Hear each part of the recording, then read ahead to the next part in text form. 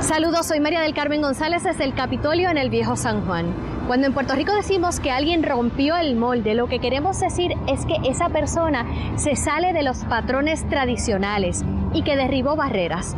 Nacida en el pueblo de Yabucoa, Nidia Velázquez se convirtió en la primera mujer puertorriqueña en ser elegida para el Congreso de los Estados Unidos.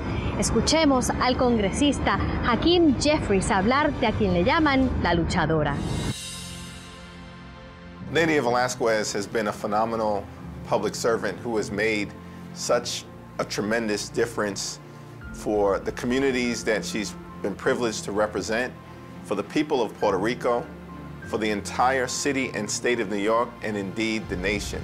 La inspiración para hacer lo que hago, obviamente me la dio la experiencia de haber tenido una niñez de escasos recursos. Mi papá se iba a trabajar a las 2, las 3 de la mañana y cuando regresaba por la tarde siempre nos sentábamos a hablar. La primera pregunta que mi papá nos hacía era si habíamos hecho las asignaciones. Yo pude conectar educación con oportunidades. La pobreza en lugar de ser una excusa se convirtió en una fuerza que me empujó a mí a, a, progresar, a dar el máximo. E, esa niñez fue la fundación de lo que sería más tarde Nidia Velázquez, la luchadora.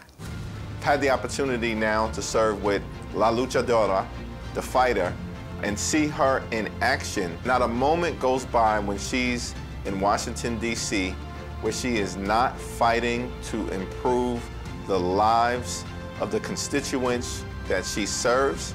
El primero de enero del 2023 eran 30 años que llevo en el Congreso de los Estados Unidos. During my first successful campaign for the New York State Assembly, Nydia Velasquez endorsed me. And it was inspirational because she has been such a champion on many of the issues that are important to the people that I represent. Toda persona que está en el servicio público tiene que siempre pensar que cuando el día que tú te vayas, tú mires atrás, mires hacia atrás y que sepa que ahí tienes un grupo de jóvenes que tú ayudaste a que desarrollaran su liderazgo.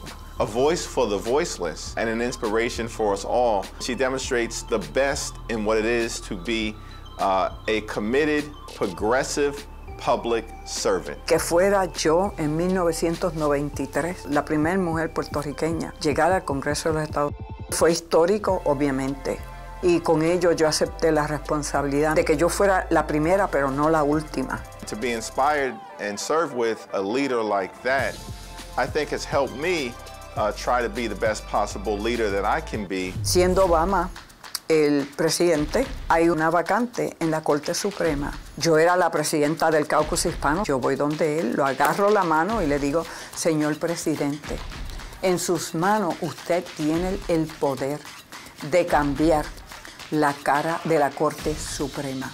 Y él me dice en mi oído, y yo sé que tú tienes una candidata, Sonia Sotomayor.